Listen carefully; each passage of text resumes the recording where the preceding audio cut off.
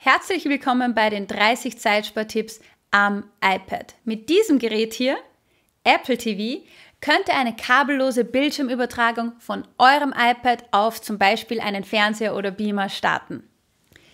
Zieht dazu rechts oben das Kontrollzentrum hinunter und tippt auf Bildschirmsynchronisation. Wählt dann euer Apple TV aus und alles, was ihr auf eurem Bildschirm seht, wird automatisch auf dem Fernseher oder Beamer übertragen. Weitere Infos findet ihr hier.